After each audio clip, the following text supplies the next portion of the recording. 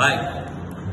Um, we see many cookbooks being published almost on a daily basis, but uh, hardly a few come uh, which we can really say are authentic. I have just recently come across one such book in Bengali, Bangalbari Ranga, by celebrity chef Rongon Neogi.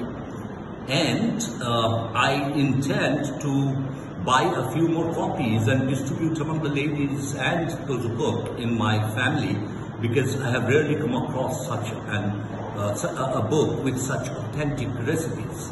Now, Rongon has done an excellent job and I'm sure that this is only uh, you know, a glimpse of what he has in him and I wish in future he would come up with many more such books and uh, help us enjoy our meals at home a little more. Thank you, Ranjan. All the best.